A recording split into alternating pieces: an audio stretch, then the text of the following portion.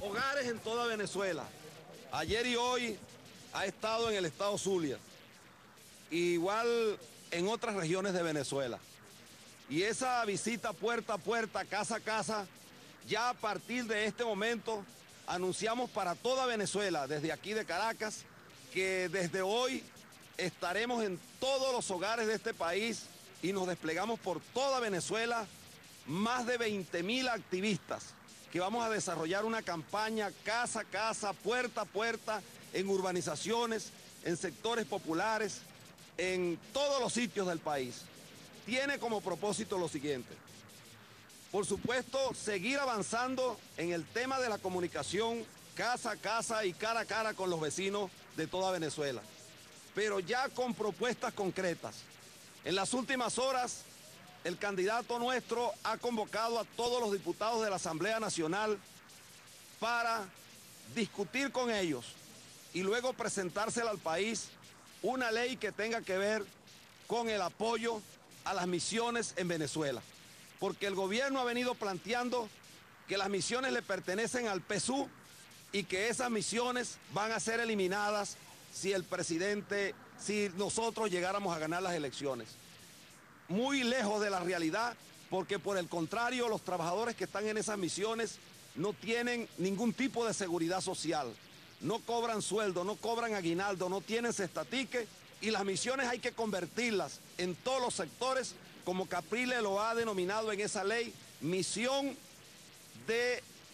de nuestro pueblo para todos por igual. Es decir, que estas misiones ahora no van a estar al servicio, ganando nosotros las elecciones como debe ocurrir Dios mediante, de una parcialidad, sino de todos y cada uno de los venezolanos y venezolanas que las necesitan. Lo segundo es que a partir de hoy, como lo hemos anunciado, este despliegue que vamos a hacer a lo largo y ancho de Venezuela tiene como propósito una gran movilización para el reclamo social. Y nosotros aprovechamos desde aquí, desde esta rueda de prensa, para decirle a toda Venezuela que nos vamos también a oponer,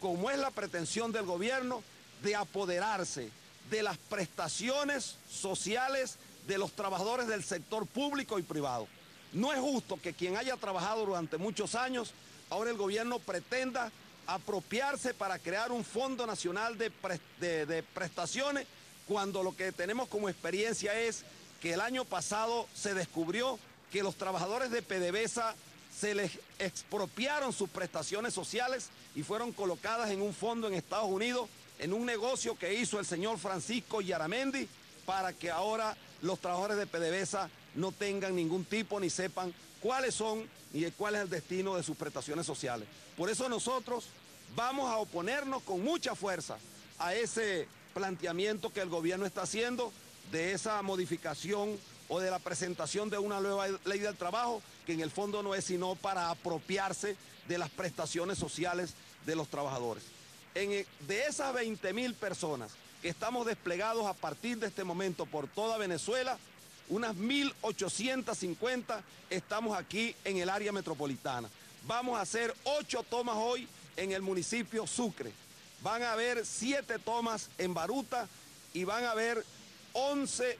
tomas y recorridos hoy y mañana en distintos sectores del municipio Libertador. Así que esta es la fuerza con que nosotros salimos ahora. Las encuestas, lo que dicen en la calle, que por cierto el gobierno en las próximas horas no va a empezar ni seguirá hablando de ellas, ya lo que dicen es que estamos avanzando con mucha fuerza, pero que además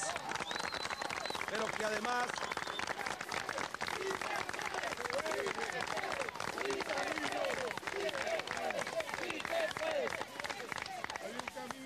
pero que además eso que el gobierno expresa ayer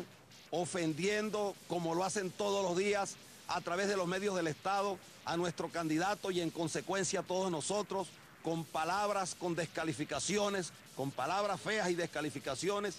esa confrontación permanente, ese llamado. Ahora dicen que van a crear un comité antigolpe. Yo creo que el comité que tiene que crearse o el frente antigolpe es más bien anti-inseguridad, porque en este sector donde estamos y en toda Caracas y en toda Venezuela, cualquier ciudadano que sabe que sale, anda con un ojo adelante y otro atrás, pues no sabe dónde lo van a atracar o dónde lo van a matar para quitarle un celular. El, el comité antigolpe que el gobierno tiene que crear es para bajar el costo de la vida, es para que la gente consiga trabajo. Esas son las cosas que el gobierno debe ocuparse porque esos son los problemas que se tienen que resolver y es para eso que este gobierno tiene que ponerse a trabajar. Yo voy a dejar en el uso de la palabra a nuestro candidato a la alcaldía metropolitana, Antonio Ledesma, y al jefe de campaña del Comando Metropolitano, que tiene también que decirles algunas cosas, pero desde aquí finalmente le digo a toda Venezuela y a todo nuestro activismo